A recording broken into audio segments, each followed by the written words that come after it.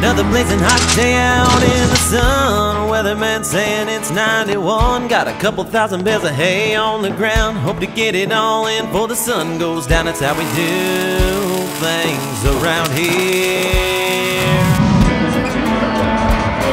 Granddaddy's farm.